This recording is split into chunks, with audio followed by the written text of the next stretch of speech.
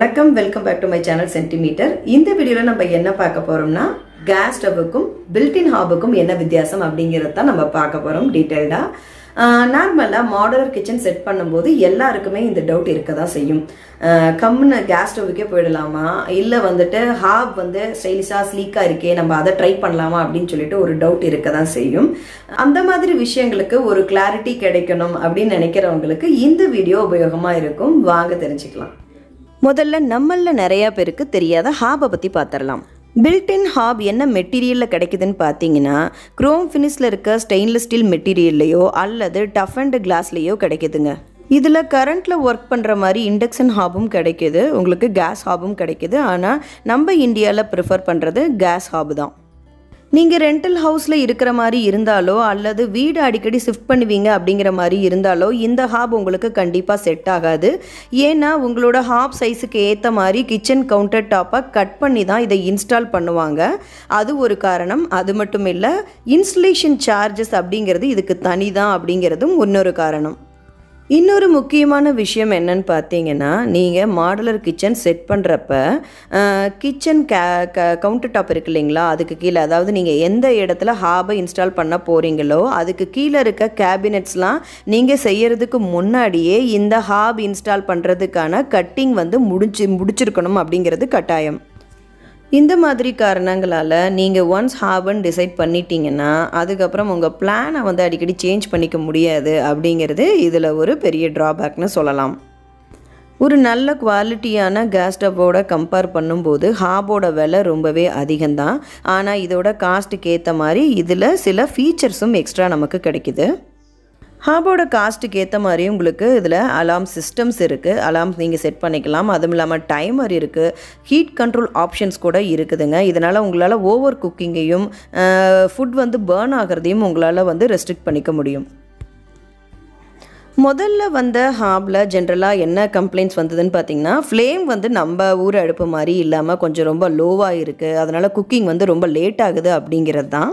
ஆனால் இப்போல்லாம் பார்த்தீங்கன்னா நம்ம இந்தியன் மேடு ஹாபில் டபுள் ரிங் பர்னர்ஸ் ஹாப் கூட கிடைக்கிது. இதில் உங்களுக்கு ஃப்ளேம் வந்து முந்தி இருந்ததை விடவே ஹை ஃப்ளேமாக இருக்கிறதுனால நம்ம நார்மல் கேஸ் ஸ்டவ் அளவுக்கு குக்கிங் வந்து எஃபிஷியண்ட்டாக பண்ண முடியுது. மோஸ்ட்லி எல்லா ஹாபும் ஆட்டோ இக்னிஷனாக இருக்குது அதாவது நீங்கள் நாபம் ஆன் பண்ண உடனே ஆட்டோமேட்டிக்காக ஃப்ளேம் வர மாதிரி. இதோட டியூரபிலிட்டி ரொம்பவே அதிகங்க. நார்மல் கேஸ் ஸ்டவோட பர்னர்ஸையும் ரிங்ஸையும் கம்பேர் பண்ணும்போது இதோட பர்னர்ஸும் ரிங்ஸும் ரொம்பவே ஸ்ட்ராங்காக இருக்கும். அது மட்டும் இல்லை இதெல்லாம் வந்துட்டு உங்களுக்கு காஸ்ட் ஐரனால் கோட் பண்ணப்பட்டிருக்கும். பர்னர் மெட்டீரியல் பார்த்தீங்கன்னா பிராஸாவோ அல்லது காஸ்ட் ஐரனாவோ இருக்குது பர்னரில் ரெண்டு டைப் இருக்குது open burner and sealed burner அப்படின்ட்டு ஓப்பன் பர்னருங்கிறது நம்ம யூஸ் பண்ணுற மாதிரி ஓட்டைகள் வந்து விசிபிளாக தெரியறது. இன்னொன்று சீல்டு பர்னர் அப்படிங்கிறது பார்த்தீங்கன்னா உங்களுக்கு வந்துட்டு அந்த ஓட்டைகள் வந்து வந்துக்கிட்டு தெரியாத மாதிரி மேலே ஒரு மூடி போட்டு கவர் பண்ண மாதிரி இருக்கும். ஃப்ளேம் வந்து உங்களுக்கு அடியிலேருந்து வர மாதிரி இருக்கும் பார்க்குறதுக்கு. இந்த மாதிரி சீல்டு பர்னரோட ப்ளஸ் என்னன்னு பார்த்தோன்னா நம்ம குக் பண்ணும்போது டீ மாதிரி ஐட்டம் உங்களுக்கு பொங்குச்சுனாவோ அல்லது இப்போ பருப்பு குக்கரில் வச்சோம்னா அதெல்லாம் வந்துட்டு உங்களுக்கு பர்னர் மேலே சிந்துச்சுனாவோ உள்ளே போகிறதுக்கான அந்த துணுக்குகள் வந்து உள்ளே போகிறதுக்கான வாய்ப்புகள் கம்மி அப்படிங்கிறது தான். ஆனால் இதோட நெகட்டிவ் என்ன அப்படின்னு பார்த்தீங்கன்னா ஓப்பன் பர்னரில் இருக்கிறத விடவே உங்களுக்கு ஹீட் எஃபிஷியன்சி வந்து இதில் கம்மியாக தான் கிடைக்கும் அப்படிங்கிறது தான். அடுத்ததாக நம்ம பார்க்க வேண்டியது இதோட மெயின்டெனன்ஸ் பற்றி நார்மல் கேஸ் ஸ்டவ் மாதிரி நீங்கள் பர்னர் ரிங்கு இதெல்லாத்தையும் கழட்டி வச்சுட்டு துடைக்கிற மாதிரி இதை துடைக்க முடியாதுங்க.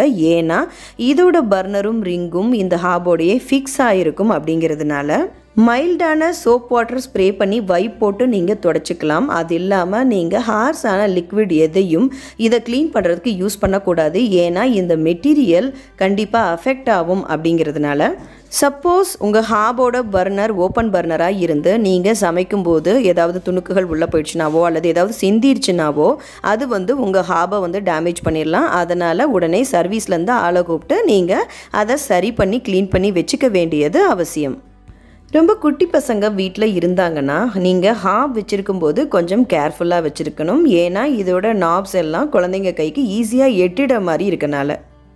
ஹாப் வாங்கும்போதே அதுக்கேற்ற மாதிரி சிம்னி வாங்கணுமான்னு கேட்டிங்கன்னா அதுதான் பெஸ்ட்டுன்னு சொல்ல முடியும். ஏன்னா ஹாபோட சைஸுக்கு ஏற்ற மாதிரி சிம்னியோட சைஸ் வந்து உங்களுக்கு கொடுத்துருப்பாங்க. அதாவது ஹாப் மேலே நீங்கள் பாத்திரம் வச்சு சமைக்கும்போது அதிலிருந்து வர புகையெல்லாமே அப்சர்வ் பண்ணிக்கிற மாதிரி சிம்னியோட சைஸும் உங்களுக்கு இருக்கும் அப்படிங்கிறதுனால சப்போஸ் உங்கள் வீட்டில் சிம்னி ஏற்கனவே இருந்துச்சு அப்படின்னா அதுக்கேற்ற சைஸில் நீங்கள் ஹாப் வாங்கிக்க முடியும்.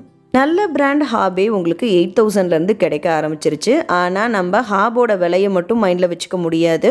அதோட இன்ஸ்டலேஷன் சார்ஜு ப்ளஸ் சிம்னியோட விலை ப்ளஸ் சிம்னியோட இன்ஸ்டலேஷன் சார்ஜையும் சேர்த்து நம்ம பார்க்கணும்.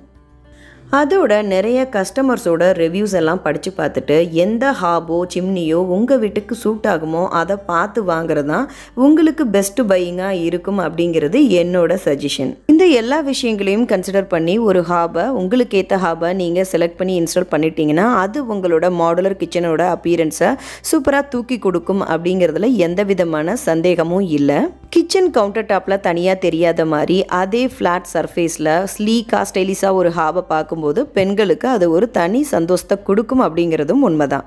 அடுத்ததாக நம்ம பார்க்க போகிறது நம்ம நிறையா பேர் வீடுகளில் யூஸ் பண்ணிகிட்டு இருக்க ஃப்ரீ ஸ்டாண்டிங் கேஸ் ஸ்டவ் பற்றி தான் ஹாபோட நிறைய விஷயங்களை பற்றி தெரிஞ்சுக்கிட்டதுக்கப்புறமா அதோட கம்பேர் பண்ணுறப்ப நம்மளோட நார்மல் கேஸ் ஸ்டவ் பார்த்திங்கன்னா மெயின்டெனன்ஸும் சரி யூசேஜும் சரி காஸ்ட் வைஸும் சரி எல்லாத்துலேயும் பெஸ்ட் அப்படிங்கிறது நமக்கு தோணியிருக்கும்.